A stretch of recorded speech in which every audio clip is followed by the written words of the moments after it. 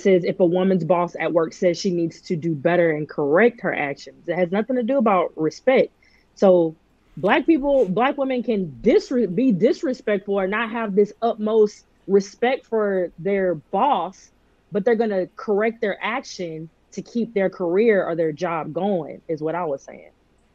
It's about behavior. It's not about the respect level they have in their mind and their heart. Nobody gives a rat's ass about that. It's about what they're actually doing. They, their man will ask them not to wear something, and they, they'll say, "Nigga, you can't tell me what to wear." But their boss tells tells them at Burger King, "Wear the blue apron on Fridays instead of the red ones." And guess what? They showing up with the blue apron on for that seven twenty five an hour because they respect their boss more than they respect the man.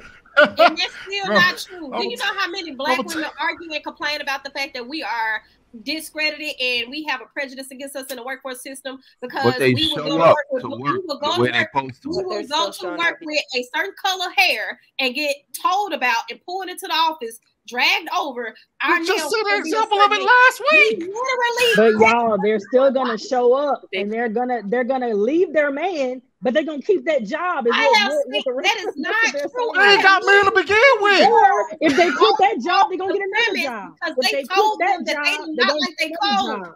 But we just seen it last week. The girl just challenged the whole job. Parents, uh, they're leave the man, but they're gonna keep that paycheck. They gonna leave the no, man, she but they gonna keep that paycheck. Got online and tried to convince uh, us that what she had on was appropriate because they told her at the job it was inappropriate. Instead of her trying to actually go and change her outfit, working at Home Depot, working it in a regular she job. working at Home Depot. No, time out. I, I spoke to no, I spoke to that girl. I spoke to her. She was within the code. She was within the code. No, she wasn't, bro. Even a boss. Yes, she was. She wasn't. Even her boss. What was she? What she had wrong? What did she do wrong? Her boss. Her boss. How was she out of code? How does? How was she out of code? Challenged the job. That's what I'm saying. She did correct the action, even if she was in the code. The job said this is inappropriate. Don't wear those we pants. talked about the teachers. We have seen it with the teachers. The teachers were getting criticized because of them having a figure, and they were saying, "Oh, she was too tight." We sent her home. We told her she shouldn't come back with this on, and they will get online and tell us, "Hey, don't you think this wrong? There's nothing wrong with my outfit. I They're cannot have my the outfit. No, daddy, because there wasn't nothing wrong with it. Outfit. Baby, they doing it. They doing it on IG and on TikTok. They making videos, but best believe when they clock back in at work, it's with the right pants on. No, well, they're we not. Can't, you, we can't, every gonna, day. They're gonna get. wait. As she wasn't. as a matter she wasn't wrong. She wasn't wrong in that case. Whether she was wrong or not, she didn't correct the behavior. She didn't say, "Okay." You can't sir. correct behavior if you're not in the wrong. Well, they thought she was. She wasn't she in the wrong. She, she was in the code. But they said she wasn't. It doesn't matter what she thinks. They I saw the dress code, dude. She wasn't out of dress I'm code. Saying, she wasn't out of dress code. That. It's not. That's not the point I'm trying to make. The point I'm trying to make is they said she wasn't, and she didn't correct the behavior. She didn't say, "Oh, I'm going to wear what they need me to wear." She ran. Hold on, wait. She ran a TikTok. Said, "Look out!" Because it was discrimination. Hold on, wait. They said just because you, you respect the job, you can't get discriminated against. Okay, you can't be discriminated against. You're not gonna. You're not gonna do that. Did she quit the job? Did she go back to work away with they asked her to wear? No. She said, "Fuck that job." You can't use that example then. We've said this ain't. Yeah, she was being discriminated okay, against, so and you can't use that. Go, go, back to the teacher, or go back to the girls who were getting fired for their braids. Go back to all of these other examples and these nuances because y'all playing in my face. That's what y'all doing. That's discrimination. They're not. But even and there's, the there's literally a law. There's literally the, the Crown Act against that right now. That's now. discrimination. Why should you stand for discrimination? So many black women who saying if a job does not mean not let me wear what I want to wear. I'm not going. The job. We do it all the time. So because they were discriminating against a culture, and so you can't do that. Let me ask you something. Let me ask you something. Hold on, hold on, you're, you're saying that there's discrimination present. Although I can understand that, what we're saying is they were told to correct their behavior. They chose not to correct the behavior, regardless of what their their standing was. They have every right to feel and vindicate it. The job said one thing, the black women counteracted it. We have seen it multiple times. We have several different instances. We have literally seen a girl go and set up a, a skit where she is punching in at home and telling these people, "Oh, when I start getting up to brush my teeth and prepare myself, I'm already." And you should have read the comments. Wait, You read the comments. Yeah, but that now now, but now, but, but Paris, what you're doing right now is you're talking about anomalies. The reason why that video went viral is because it's an anomaly. So now it's okay to talk about anomalies, I guess.